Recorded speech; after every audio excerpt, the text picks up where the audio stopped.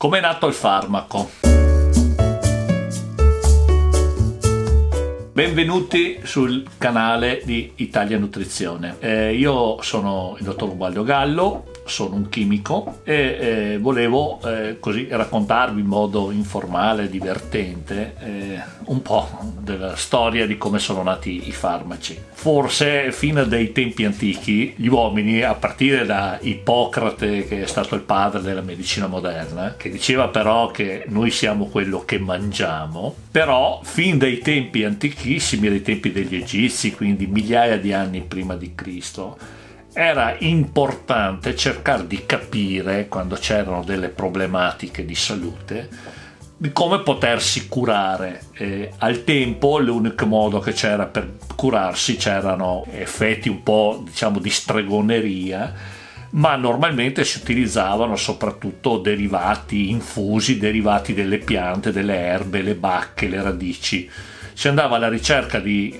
queste sostanze, in qualche caso si utilizzavano anche del, degli animali, del, dei molluschi, delle rane, degli insetti, per appunto cercare di generare delle sostanze che in qualche modo aiutassero il corpo a reagire agli eventi avversi. Ma ci sono delle storie molto interessanti per quello che riguarda invece la nascita del farmaco in ambito moderno, nell'era moderna uno dei farmaci più importanti dell'era moderna è, è l'aspirina, no? che tutti conoscono, ormai l'abbiamo per scontata. E c'è, c'è una storia uh, aneddotica su come nasce l'aspirina e nasce esattamente in Bayer. La Bayer eh, era, era, già da tempo, diciamo già alla fine dell'Ottocento, inizio del Novecento, un'azienda chimica importante e, e, aveva dei chimici, dei laboratori, dei medici, dei farmacisti che lavoravano all'interno di questa azienda e facevano ricerca. E uno di questi, di questi ricercatori eh, soffriva, eh, si, si narra che soffrisse di mal di testa e l'unico posto in cui riusciva a curarsi o star meglio da questo mal di testa era in un piccolo parco che c'era all'interno della, dello stabilimento. C'era un parco con dei salici. E eh, l'unico posto in cui appunto lui stava meglio quando aveva gli attacchi di mal di testa era quando si sedeva in queste panche all'interno, in mezzo, immerso in questi salici. Per cui a un certo punto cominciò a farsi delle domande come mai eh, lui si sentiva meglio quando si sedeva in queste panche.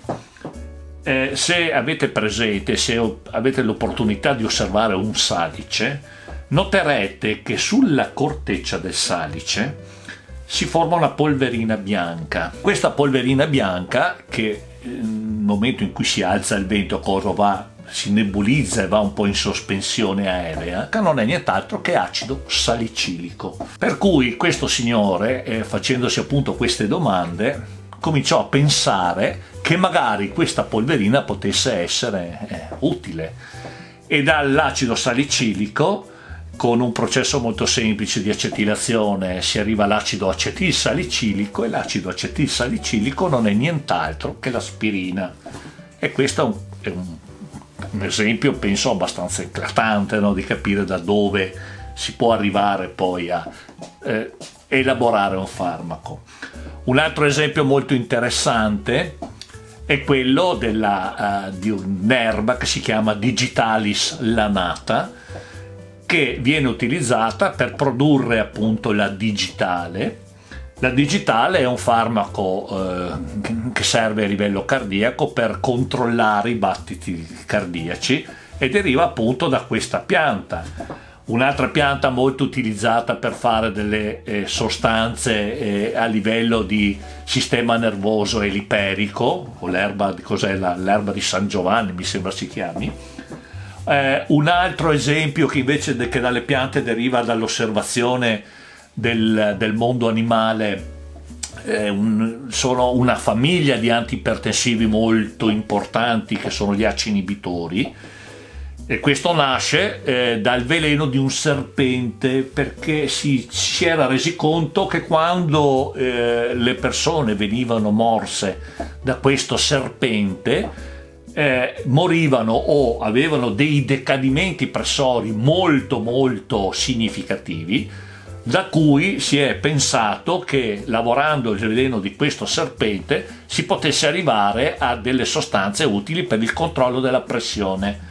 Tant'è vero che nasce il Captopril, che è il capostipite di una famiglia, come dicevo prima, importantissima, è quella degli ACE inibitori che ha prodotto più di 20-25 molecole.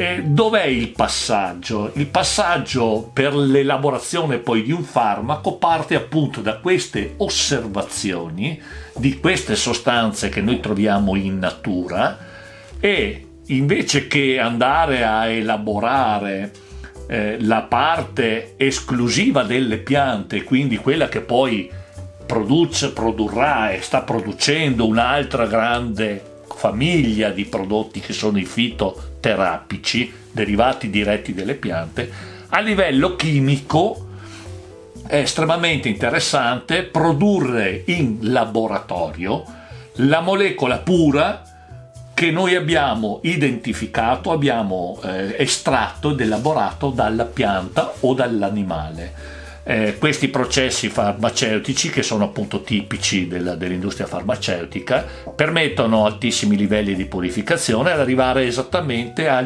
quel principio attivo, solo ed esclusivamente quel principio attivo che è quello che ci interessa.